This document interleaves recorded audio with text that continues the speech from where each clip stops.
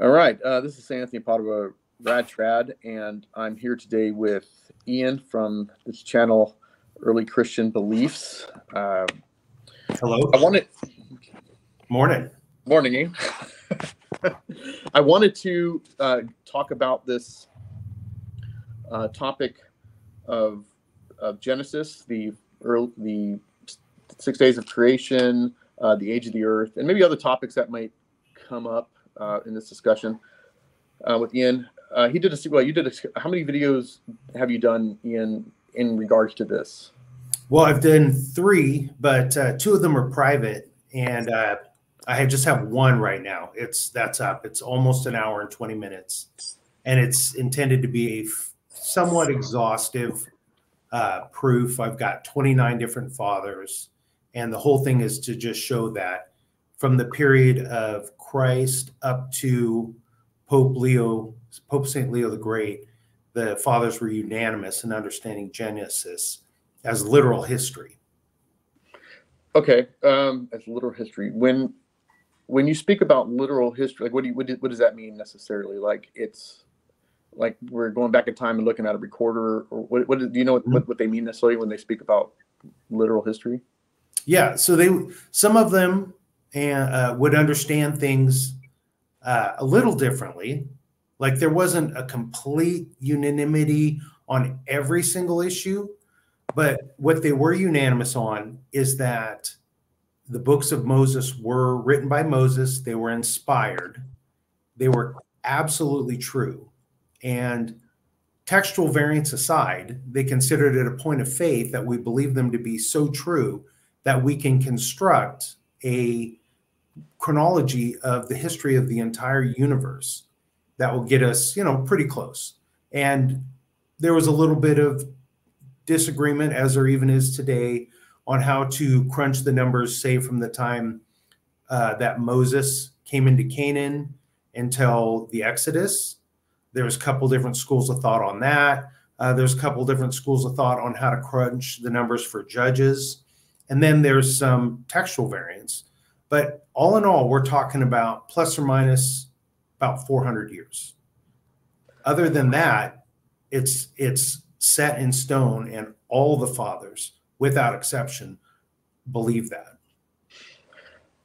Believe that that you can you can date the the the creation of the world back to a specific amount of years or whatnot. Yes, and and also that the creation of the world is uh, happened at the same moment as the creation of time. So they didn't believe, oh yeah, the world is six thousand years old, but the universe has been around for, you know, eight billion years.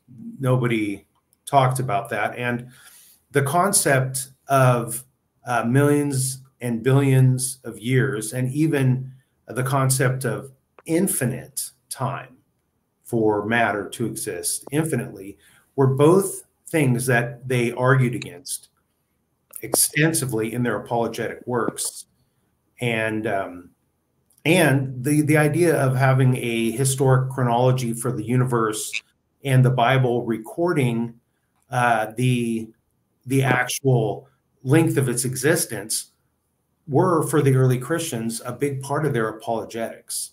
So they felt like it was very important when they talked to unbelievers that had different views, who maybe believed in millions of years, they maybe believed in just you know hundreds of thousands of years, whatever they believed.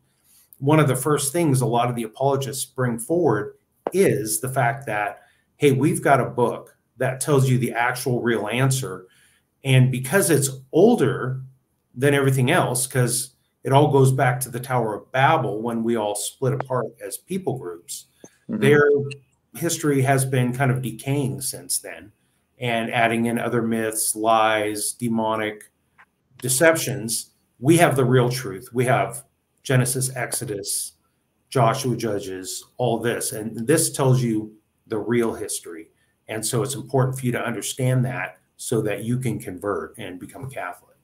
I think that's interesting. Um, that they use this as as an apolo- as an apologetic to try to win over the pagans and mm-hmm. so forth.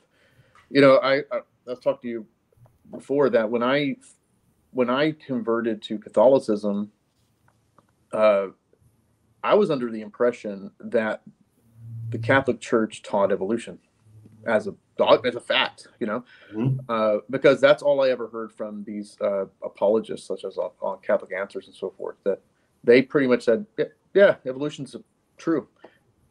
I mean, you don't have to believe it. They make you out like like you're you're like a, a knuckle dragger, you know. If you mm-hmm. if you hold to what I would hold to, which is a six day six day little six day creation, young Earth, uh, that if you hold to something like that, you're just some Neanderthal, you know. Yeah, like I, have I've definitely encountered uh, that attitude as well, and I'd say, you know, I'm I'm just a layman, so I'm not by any means telling people trying to say I'm prescribing what you can and can't believe. You need to talk to a valid priest as for what the parameters of belief are. But I came to the Catholic Church through my studies of the early Christians, particularly St. Vincent of Lérins was one of my favorites. And it really troubled me for a long time as a Protestant, the high regard he held for the popes. And so um, I guess I, I'm just saying that by saying that, you know, for me, if the fathers are unanimous on something, then I accept it. And, and that's why I'm a traditional Roman Catholic today, is because of that. So, you know, I think it's too bad that there are other opinions out there that people are passionately defending who are also Catholics. Um, but nonetheless, I, I think my the video that I have out right now is just should be just an abundant amount of proof that that at least in the first four centuries, this was the unanimous position. And so the other views, you can't trace it back to the fathers. They came into the church from somewhere else. And in my way of looking at things, that's always a bad thing. You know, uh, yeah. So when when I was you know coming to the church and was hearing these apologetics, I, I thought that there it was like a, the mind that it was such an odd view. I, they, they would under they would at least explain it as a way that you have to read Genesis, you know, like the fathers read Genesis. You know, they would they would use mm-hmm. this kind of argumentation, right? So yeah, they would say, well, you have to understand Genesis is not written in its history. It's like poetry or it's whatever. Mm-hmm. So you have to understand it in the way that the early writers meant to for it to be written. Mm-hmm. And I'm like, mm-hmm. okay, uh, I mean, I guess I can understand that. Like if if Moses wasn't uh, intending to explain it in a historical manner, then okay. But what I discovered is that the early the early writers that talk about Genesis, or even even like Josephus and others, mm-hmm. didn't understand it in the way I hear, you know, uh, modern day Catholic apologists speaking about Genesis or even in my own background, excuse me, in my own background as a Presbyterian, they would. There was a popular view of like uh, the framework hypothesis, mm-hmm. so that mm-hmm. they would, you know, they would see Genesis as speaking about this. It's not literal. It's this, you know, they, I can't even remember the framework hypothesis where it's like day one and day four maybe coincide, and it's like this kind of poetic parameter but what it is, it, it, it's not literal. What no matter what you say, it's not literal, and that's not how it was meant to be interpreted. But when you look at what like maybe even Philo, I can't remember, or even some of these other early uh, Jewish writers, they were asking the same kind of questions we're asking today. Like, mm-hmm. where did uh, where, where, you know where did uh, uh, like where did the Adam's children get their get their wives? You know, yeah people on the earth you know things like that. They're asking very common basic questions that we're asking. So is that something you noticed that that, that they didn't understand? They weren't reading genesis the way it seems like these modern apologists who are you know very sophisticated mm-hmm. are reading genesis. Did you is that how it, what you experienced in your in yeah. your, at these people at the fathers? Yeah and there's and there are let's just there's a lot of scholars that are just way smarter. I won't speak for you but they're a lot smarter than me uh, but I believe that they kind of have outsmarted themselves on this issue because while the fathers have this just inexhaustible, inexhaustible well of just beautiful allegory and deeper meaning in the scripture, and we would be fools to stop and I think would be in fact condemned by the fathers. I think that can be explicitly shown if we just look at it as a history and we don't dive into what the the depth of this pool that's been given for us from the church, this cave full of just treasure uh, for all the meaning of Genesis and Joshua and Judges and all of our sacred history.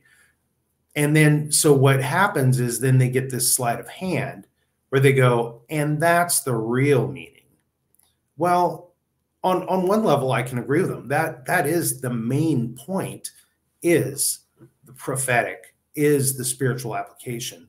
But you may not, and I think even very recent popes would agree, and the fathers are explicit, you may not reject the literal interpretation. And they all are very clear that you can construct a chronology that is literally true from it. So so that that to me is the problem that people they yes they have oh you know we're going to look at the better part is the spiritual application and all of the prophecy that's been fulfilled. Yes, but I would advise people if somebody tells you that that's what was intended, I can tell you for a fact that the fathers would disagree and I actually would like to issue a challenge. Uh, I'm going to feel free to contact me in the comments on this video, or you can go out to my channel and uh, email me personally. I, I would like to find is there any canonized saint that has ever specifically denied that Genesis is literal history or that has specifically said they believe in millions or billions of years, to canonized saint. And yes, I'm well aware that there are three fathers that believed in an instantaneous creation. They nonetheless still held dogmatically to a literal history. So that's that's not what I'm referring to. So uh, before we get into maybe some quotes uh, on some of these things, what, what? So just to clarify, what you're saying is that from your research, at least in the first uh, how many hundred years is this of, of the church? Basically, about 430 years after Christ. And there's not any magic line there. That's why I'm picking, like, I know a lot of heretics will say, well, after the Council of Nicaea, you can't believe anything you read because the whole religion changed. And I used to kind of fall into that camp. And I've left uh, left that camp and came over to, to God's camp. But I draw the line at 460 basically because that's where I've just focused my collection at. And I find it interesting. So I can't find anyone in that time period. And I, am wondering if there's anybody at any point that's a canonized saint who's ever said explicitly that they believe that the universe is millions of years old or that Genesis was intended to be only an allegory or only a theological framework. All right. So, you, so, so to summarize, you're you're saying that from from your studies and maybe the quotes we're going to look at that these particular early saints and fathers understood Genesis, Genesis to be literal history and that the earth to be young. Yep, they they basically so in the time period that I'm looking at, everyone still used the Septuagint. Um, we kind of have Jerome bringing in uh, the Jewish timeline, which we're familiar with in the Vulgate now, and the Protestants uh, followed that. Uh, which would make it a bit shorter. But but the people I, have all looked at and studied, and I have doc, been able to find documentation from, excuse me, uh, they would all say it's between five. What at the time of Christ that the universe was between five thousand one hundred ninety nine years old. That's the lowest number, and that'd be Eusebius of Caesarea. And then the highest number is five thousand five hundred and 94 years old. That would be Clement of Alexandria. So everyone else falls in between those two numbers. And that would put us at about basically about 7,500 years of existence for the universe now, if if um, if we follow those timelines. Uh, why why do you think that? Why, why, do you, why, why do you think that people like let's say the modern apologists are hesitant to accept this notion that the Earth is like? Why do they uh, accept the notion that the Earth is young, or that there that the world was created in six days? Why do you think that they're they're hesitant? Like they they they tend to label that opinion as Protestant. I've heard Mhm. that they tend to label that opinion as Protestant. Uh, I'm just curious. Like my, my thoughts, my thoughts on this is, I'll just say my thoughts on this is that I think they want to not look stupid to the world. Uh, yeah, I think that's that's it, and I and I think one reason Satan has made it easier for this opinion to put pressure on people is our fathers, who are, in my opinion, our betters. Uh, They lived in a world where it was after the fall of Tower of Babel, and you had the Babylonians saying one thing, you had the Greeks saying another, the Romans had their view, the Egyptians had another, and there were other schools out there. This kind of some of the main ones, and they all differed. But here we are at the end of times, and we've got the one world internet, we've got a one world educational system, and we've got probably most importantly, we've got a one world media. And it just wraps us in this blanket in a unanimous view from the world. If you question the uniformitarian, evolutionary, whatever you want to call it, timeline, then you're a moron. You will never get published in a serious paper. You will get laughed at. You will be mocked. And that let us not underestimate the amount of pressure it puts on us. It's not just modesty standards and everything else. I mean, it, it comes into the world of theology. And that's, of course, Satan's primary goal is to, cor- to corrupt the teachings of the church.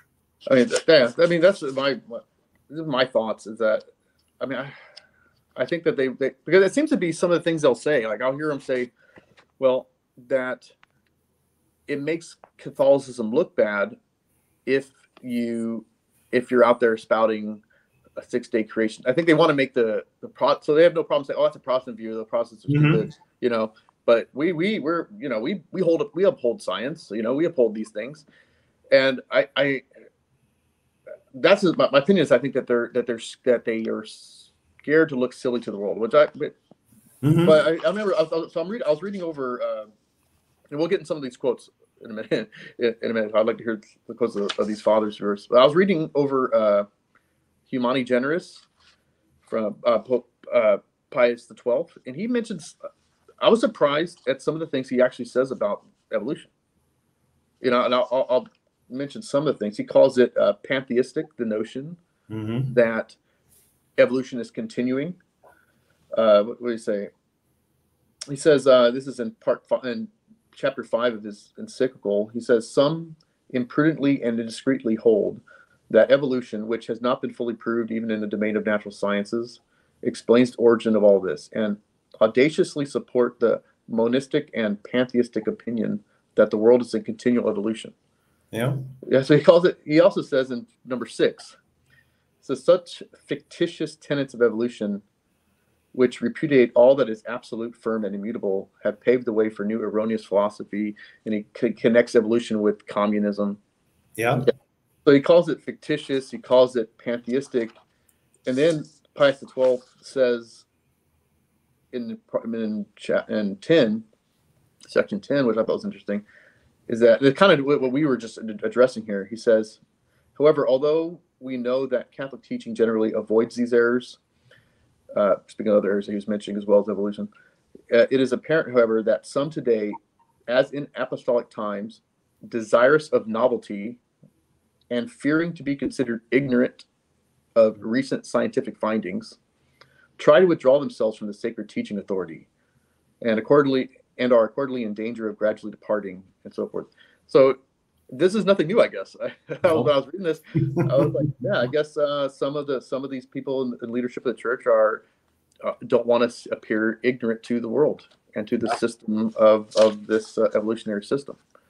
So Yeah. they're, they're they want to reconcile, you know, this this atheist fairy tale with uh with with cat with with with with the church's teaching. Yeah. So and so and so uh yeah, I just I, I found this interesting. So we're gonna get into some of these quotes. I, I want to mention that because I don't ever hear them say this. Uh, these apologists like that. Mm-hmm. This is how Pius the Twelfth look spoke of this of the view of evolution because, yeah. like, he spoke of it in a very negative way. He allowed uh, it to be looked at in one specific area, and uh, uh it, it was uh, where was it at?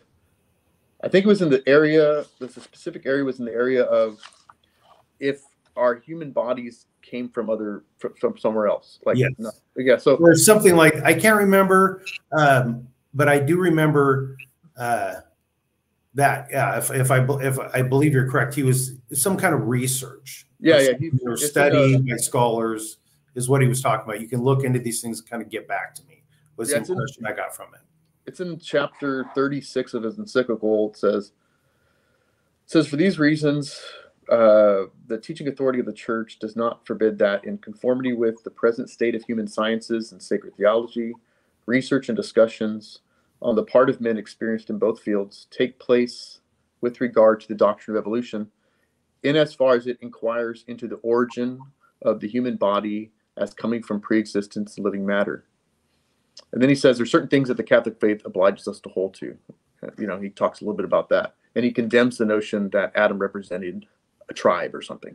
You know, yeah. he, he, he outright condemns that. So he says, we'll allow to look into this specific issue here mm-hmm. in this one specific area, you know, but he, but the, the whole notion of evolution itself as, as that the, the world is continually evolving and creating more different various forms of creatures about whatever through natural it's all rejected by apparently it seems by by pope pius the 12th yeah and and i i've got a couple thoughts on that one is um you know in the last 80 years since that was written i mean the the understanding at that time of science of what evolution was was in a relatively primitive state compared to how far we've come now yeah. I mean, the whole idea of gene of genetic material having positive mutations has been debunked.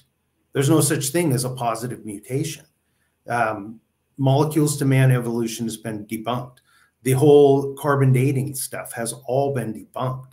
So, so the primitive understanding of evolution that they had at that time has been pretty well debunked. So, um, that's one thing. And, and then another uh, one that I think is kind of interesting is that St. Peter of Alexandria, uh, who was, I believe, the mentor of Athanasius of Alexandria, St. Athanasius, they're both saints. Um, he specifically says that you cannot believe that man was created from some pre existent type. So, again, there's nothing new under the sun they they dealt with all these same errors that we have to deal with today. I think, but like I said, the difference is it's a monolithic antichrist front that we're facing now. All right. Um, yeah, I agree. Uh, um, let's, let's look at some of the some of the quotes you have regarding, let's say, um, the days of creation. Excuse me. What? Uh, maybe give us some give us uh, some some some some quotes on what some of the fathers or some of the ancients yeah uh, believed about the six days itself, and then we could discuss those a little bit. Okay, well, to start with, we'll get the uh, the opposition out of the way. So, oh, there's been a lot of, of lot made lately uh, in books and on YouTube about the fact that the Alexandrian school, which you mentioned, Philo of Alexandria, he was a great Jewish teacher in Alexandria who has lived at the same time as Jesus. I think he died shortly after Christ did, our Lord. Um, that their school of thinking was very allegorical, and they did view the days of Genesis as happening in a single instant. So, one moment in time, a twinkling of the eye, boom, and all six days were done. That was followed by St. Clement of Alexandria, Origen seems to have followed it. Um, he's frequently quoted, but I actually, after reading a bunch of his stuff, it's like, eh, he's pretty vague about it, actually. And then uh, uh, St. Augustine, most notice, notably, who leaned very heavily on the Alexandrian fathers for a lot of his allegorical teaching. He kind of tried to defend it there and um, but he even expressed expressed some hesitation in his view. So if if you want to say, well, that was a minority view, I think Catholic principles would say we throw that out. Um, but if if you really want to dig your heels and follow follow them, then that all that allows you to do is take your your length of time that you have for the age of the universe and uh, snip six days off of it, and you make the the universe that much shorter. Um, everyone else believed that does speak on the matter. All believed in uh, literal days, and there's two basic ways that that's expressed. One is expressed in the fact that the fathers believed that the six literal days of creation are recapitulated in 6,000 years until the coming of Christ, so that Christ would come during the 6,000th year. And then after that 6,000th year, you'd have a millennium or a church age, which, in my opinion, was very nicely fulfilled. We had the church reigning on earth, a reign with Christ as king and the saints during what we call the Middle Ages. And there's different timestamps you could look at for that. But so they believed in six days, recapitulated as uh, 6,000 years. I'll just read one here real quick from Lactantius.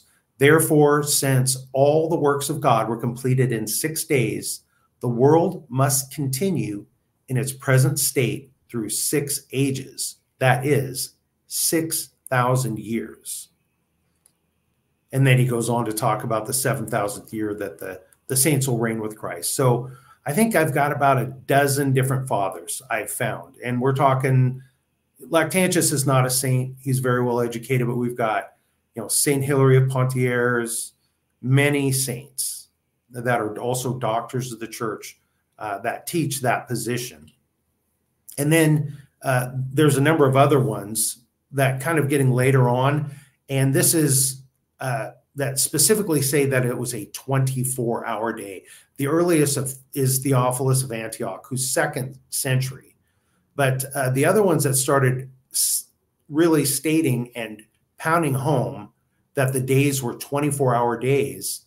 I think I think it's interesting that they were doing so about the time that the Origenist controversy, the first Origenist controversy was going. So people are starting to push back against the Alexandrian school and their over allegorization of stuff.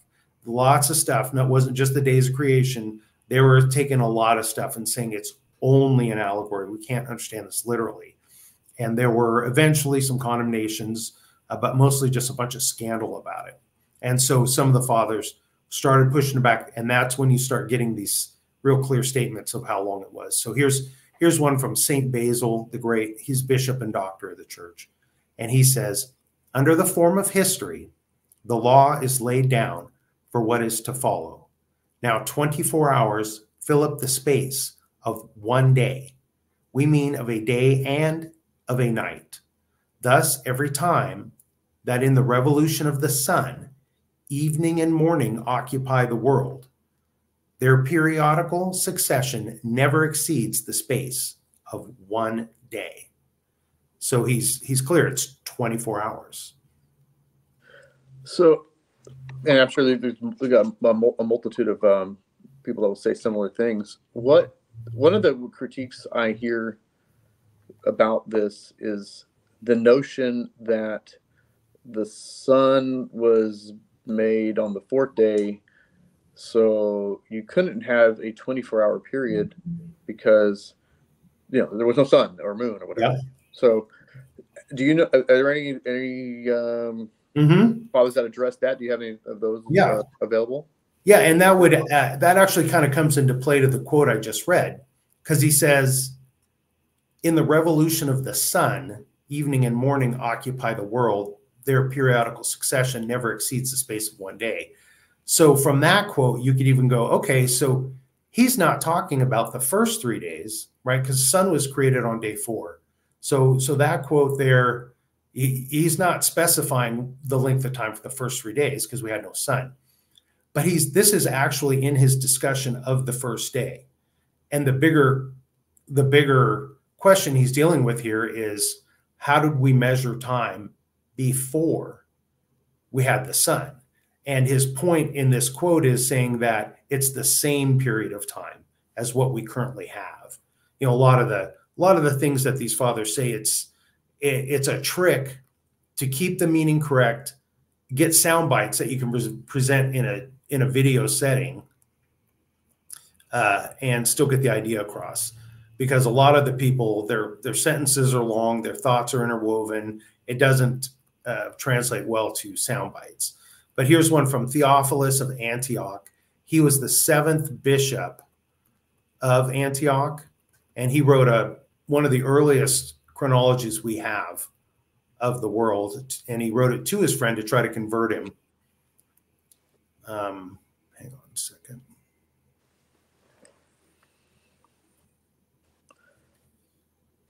You know, while you're looking that up, I, um, this reminds me of what you said earlier that this was used as an apologetic to teach the people that didn't know how the world was created or how it came into being that we can actually trace back that our writings can trace back to the origins of the earth and the world. I think that apologetic has somehow somehow been lost now. It seems.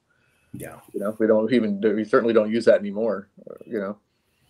So. All right. So so here's Theophilus, like I said, trying to convert his friend, and he's talking about the fourth day is when the luminaries were created. So he says, quote, on the fourth day, the luminaries were made because God, who possesses foreknowledge, knew the follies of the vain philosophers that they were going to say that the things which grow on earth are produced from the heavenly bodies, so to exclude God. In order, therefore, that the truth might be obvious the plants and seeds were produced prior to the heavenly bodies, for what is posterior cannot produce what is prior. So, that's that's neat. That's, I actually really like that uh, explanation that he was trying to. So, so because we're so prone to worship the the sun, the moon, the stars, you know, the, the and, and and attribute them to certain things. He taught that those plants were were grew prior to these different items so that that way we don't tend to worship those items or whatever or attribute them to the growth. Yeah i think, he, I think that's interesting. and he and he specifically is saying here that it's saint theophilus uh, is saying that it's because of the follies of vain philosophers that he did it in this order. So to point out the foolishness of men who would argue that, oh, you couldn't have had plants before the sun because the sun's required for life. And he's saying, no, God did that to point out what a fool you are for thinking that because his power is so great. That's a that's a very powerful point. Because that's the way you hear this all the time. Do you hear that argument. But it, was, it was it was addressed. Well, if and for these guys who say that, hey, we want to get into the deeper wisdom behind these Genesis teachings and we want to look at it from the standpoint of the fathers, well, I invite you to, to adopt St. Theophilus's point of view. He's saying that if you can't accept the literal truth of Genesis, then you've been confuted. God has basically pump faked you to go down the wrong road because you don't have the faith to follow. That's what it seems to be that he's saying there. Wow. What a different mentality. yeah, the, I, I that's why I love reading the fathers. It's it's like a whole different world. Yeah. Okay. Um, is there? Uh, so okay. So just to summarize what you're saying here with with these with these uh, sample quotes, um, that they tend to see the six days of creation in a both literal 24 hour period as well as a prophetic symbolic sense. Correct. Correct. Yep. And okay. in a prophetic sense of forecasting time forward, which is one of the ways they looked at it, but they had a number of different ways that they would look at it. Um, and maybe I could read one more where they're kind of taking one of the saints takes things down a little bit of a different road. But I think that the day age view that they had back then, which I'm calling it, maybe is confusing to call it that, but it's that they viewed a 24 hour day as a age of a thousand years, which was projecting the time until the coming of Christ, uh, is important because uh, His Holiness Pope Pius X, in his Holy Office uh, letters concerning under, how we're to understand the first three days of Genesis, says in there that a day can be understood either as a 24 hour period or as a longer age. So I think this is good because I've spoken to people who say, okay, well, I have permission, therefore, to view uh, the days of creation as a long age.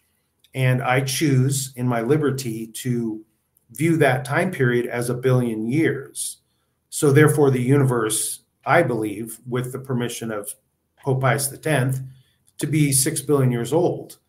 And I, I think that that goes against the other points of the Holy Office letter, certainly goes against the fathers.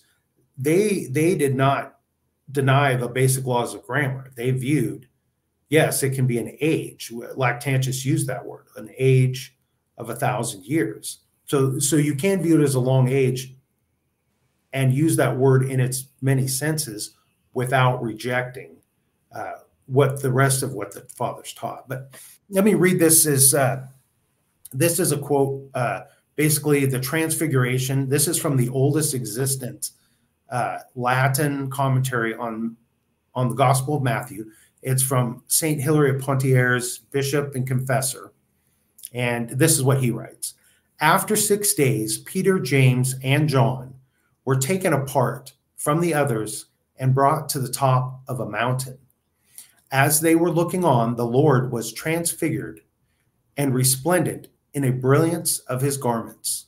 In this matter, there is preserved an underlying principle, a number, and an example.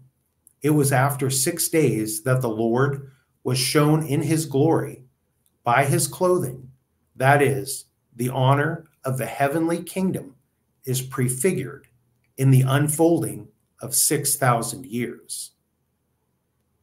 So I, you know, it, it's a beautiful, a beautiful uh, allegorical interpretation of the transfiguration that Christ, the word of God is shown in the flesh, in his clothing of the flesh, in this resplendent glory in the sixth day, which is the prefiguring of the 6,000 years.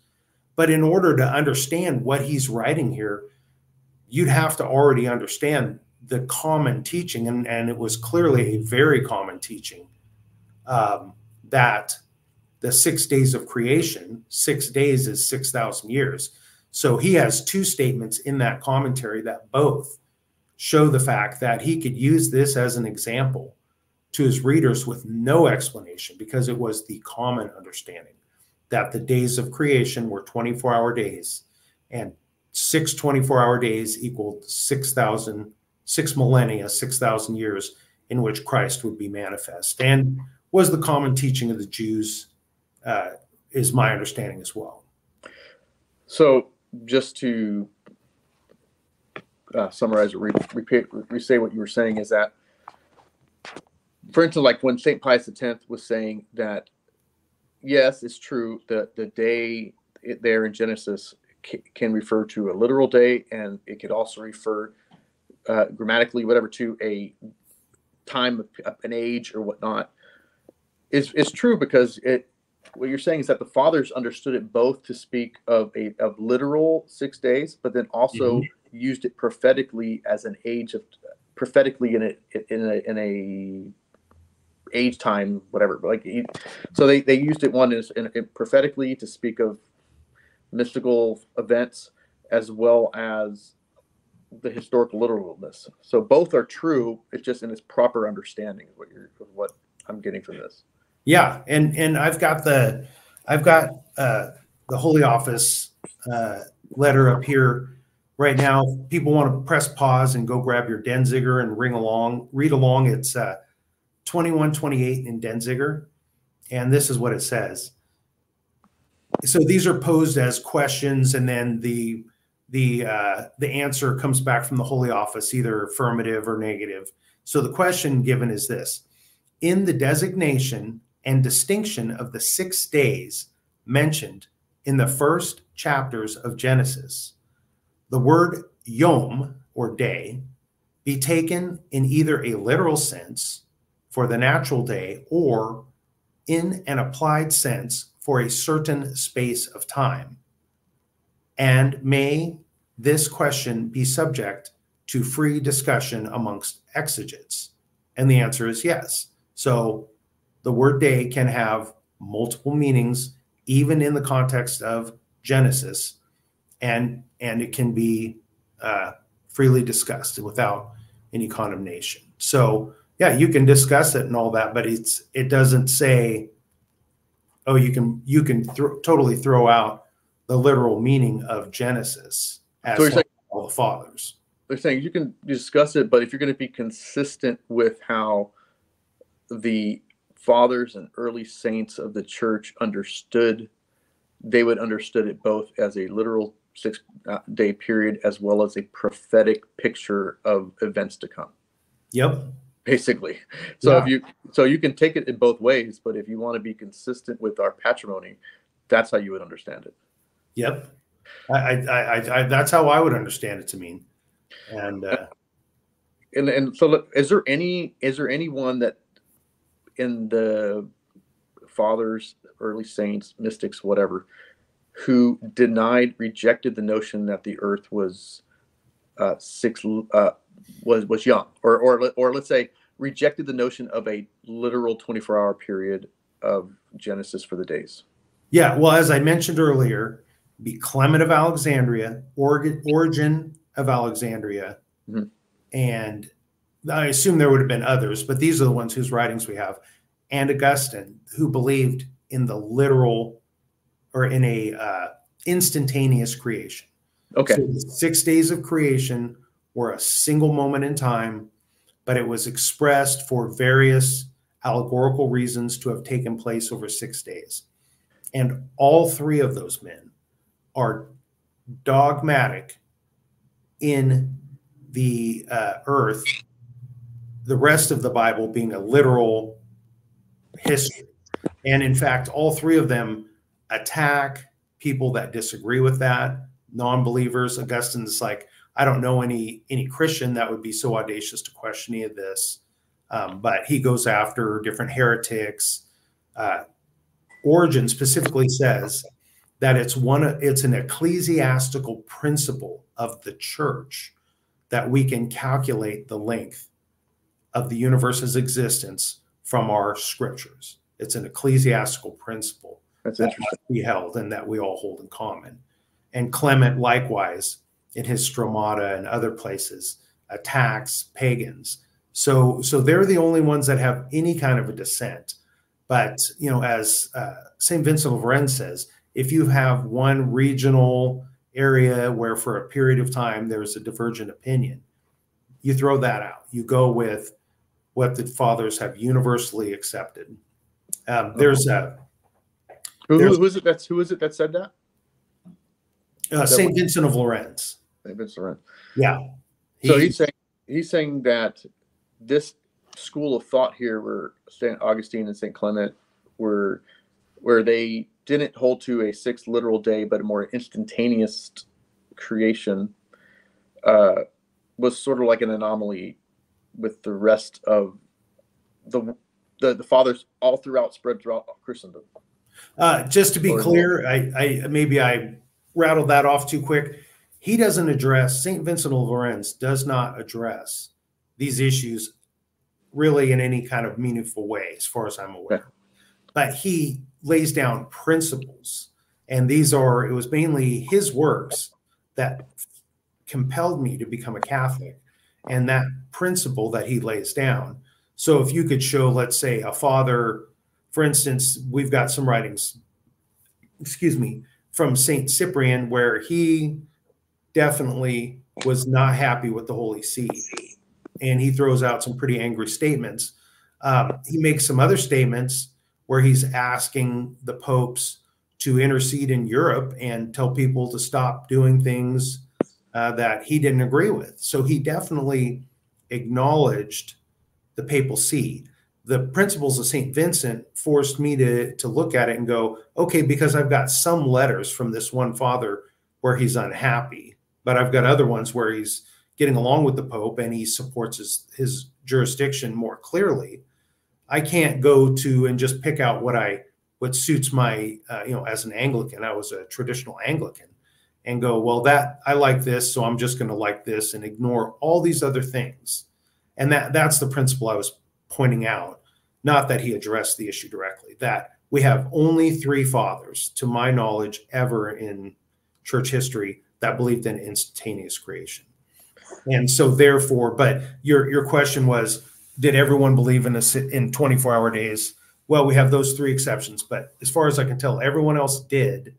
And even those three included and everyone else, the one thing that there is a 100% complete unanimity during the time period up to Pope St. Leo the Great is they all believed you could construct construct a true chronology from the Holy Scriptures.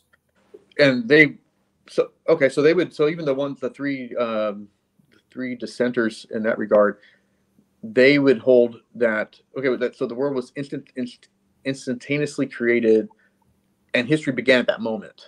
Correct. Time began. Time, time, began, began in Genesis one one. That was the beginning of all all time, all matter was Genesis 1 1.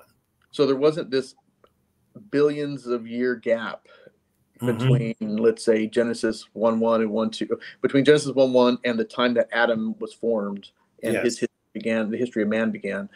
It was instantaneous pretty much. There was no there was no and, billion year gap in between. Yeah, and and um, Saint Augustine in the City of God explicitly attacks that idea that there was a long period of time, and then Adam was created, you know, five or six thousand years ago, and he okay. specifically names that and rejects that, and I deal with that passage in my video. All right, so so interesting. Um, now let me let me read uh, another one from the Pope Pius X's Holy Office letter. Okay. this one, it would be uh, 2124 in Denzinger, and it reads the following in the interpretation of those passages in these chapters, which the fathers and doctors understood in different manners, without proposing anything certain and definite, is it lawful, without prejudice to the judgment of the church and with attention to the analogy of the faith, to follow and defend the opinion that commends itself to each one? And the answer is to the affirmative. Now, I think a lot of people would look at this and go, "Well, I've got great latitude then in how I I look at Genesis because the fathers and doctors, most people believe, have said very little about Genesis. But I would say that it's quite the opposite. They've been so specific. And what else I think is interesting here is that that is the limit that's being set out by by the by by the Holy Office here in, in Pius X is that the, you have to understand it how the fathers and doctors understood it and not breaking the analogy of the faith and where they had some differences then you know maybe there is some room. Like i'll, I'll give you an, an example for one difference. I read recently where in one place uh, saint ephraim the syrian who's a doctor of the church said that the seeds were created on the third day, but they didn't blossom out till the fourth day when the sun came, which would seem to be different than a lot of the other fathers. Uh, Saint Basil and so many of the others talk about there was you know waving fields of trees and grass and all this right on the third day as the creation was made.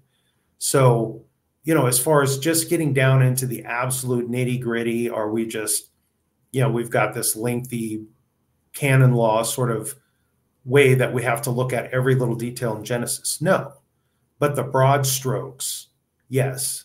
The church, at least, you know, and again, I'm not a priest, ask, ask your priest what you may and may not believe. But to me, it seems like the intent of this Holy Office letter is to say you must stay within the bounds of the fathers. And and that's consistent with how we look at everything else. Yeah. Um, so uh, okay, so we, will kind of move uh, from the, the, the six days understanding. So it seems, at least from there, we kind of the, the the opinion that seems to be of the early Christians, uh, the fathers, so, so forth, is that you can that it was six literal days, other than the exceptions, so those three exceptions, and that the the the day as well can be used prophetically to mystically uh, uh, to speak about ages and times and large periods of times but no one no one took it as that there's this millions of year gap between the creation of the world and then adam being formed. Yeah that was com- completely unanimous. And in fact there's many many dogmas that if you reject you'll be anathematized and excommunicated that were not so clearly spelled out as their belief. so I think that so I think that's important. I I, I want to just kind of bring that to the to to the fold. Then this is nothing. Well, so we're not the we're we're not the oddballs. I guess you know this is not the oddball position. This is very consistent that we would if you would hold to a young Earth a young Earth view that uh, you would be very consistent in your as a Catholic mm-hmm. to, to hold to such a thing. That if you hold to an old Earth view, you would be sort of out of step. Yeah. With with what at least has been addressed uh, by by the fathers. Um, all right, so let's see. Maybe we can talk. Maybe we can talk on. Do you, what? Let me ask this: Why? Why do you do you think this is a an important issue? To you know, as, as opposed to like you know, who cares? You know, if you if mm-hmm. they believe a if the, the, Earth is trillions of zillions of years old, or that uh, you know humans evolved into what they are today, and then God imposed a soul or whatever. Yeah. You know, what does it matter? Who cares? Like, do you find this? Why do you think this is important? Well, you know, first of all, there are some Catholics that I have very high regard for that are examples for me, that are mentoring me, training me who disagree with me on this issue. So just putting that out front, I'm not, uh, I'm not a priest, I'm not a PhD, and I, am not passing judgment on on anybody's faith here. I, I know people that are just you know saintly saintly men and women that would disagree on this issue. Um, but that being said, I think it was if it was important to the fathers, and and I think if they understood Genesis unanimously in one sense. And the church seems to have held that up until very, very recently. I'm going to say sometime after Our Lady of La Salette is when this came in.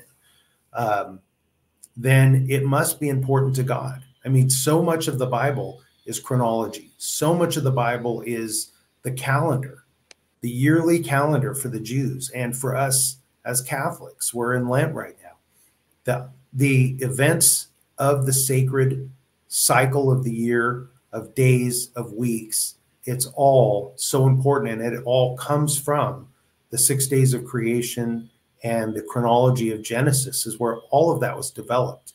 And if you just look at it as pseudepigrapha or fairy tale, which I think is what you wind up doing, if if you see it all as not intended to be history, then you essentially are saying that it, in, a, in an indirect way that that's pseudepigrapha it's just myth.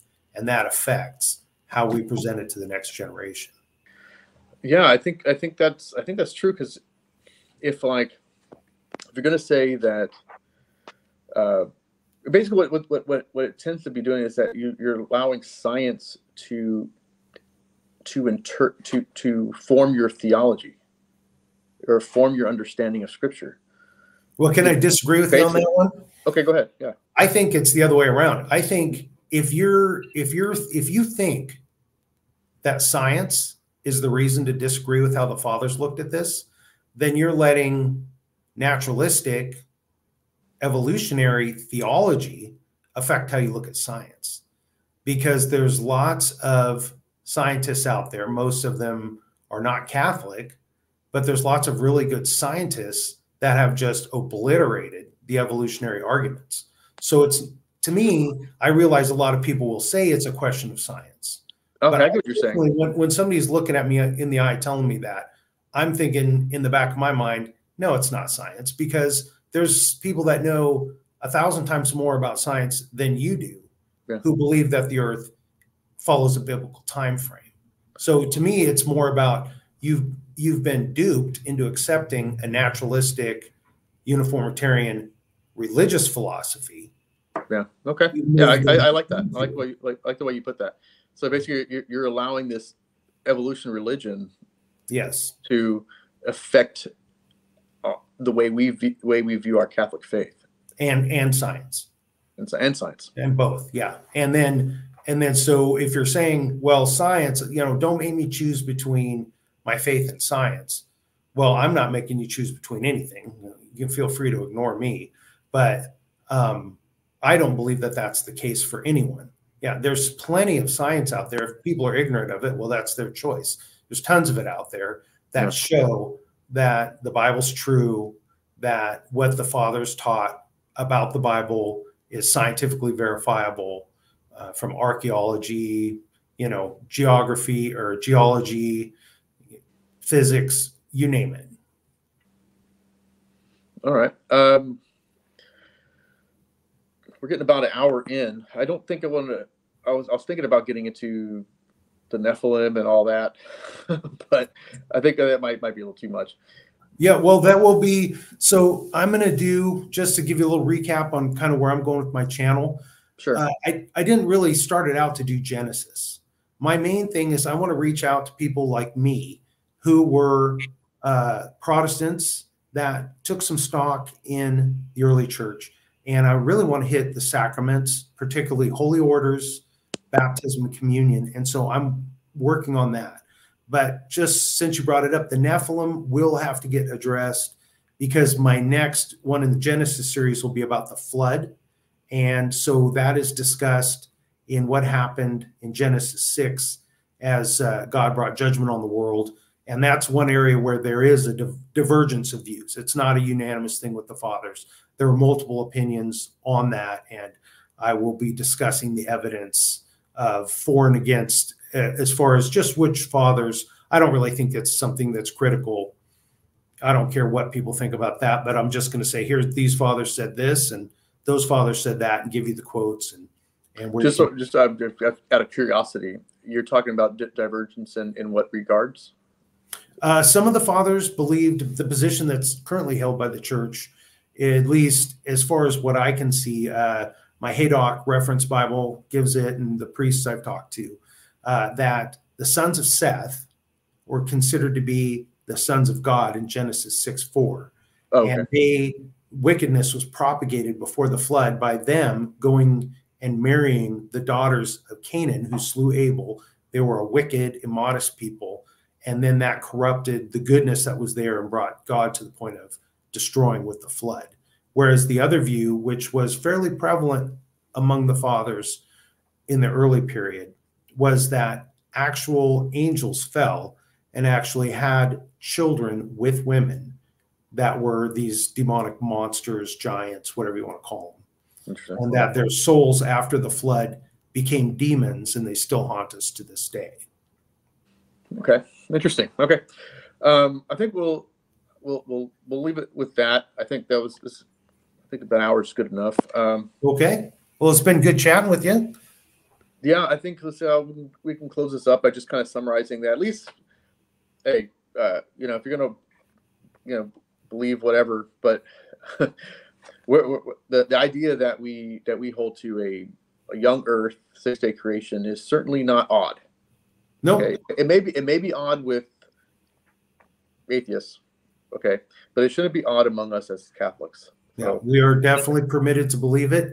And if you want to want want to understand better why I think you should believe it, uh, look in the show notes. My the link to my uh, video on Genesis will be down there. Please check it out. Yeah, I will. I will. I'll, I'll put those. I'll put those in there, uh, Ian, as well. All right, I'm gonna end this uh, recording. All right. God bless you.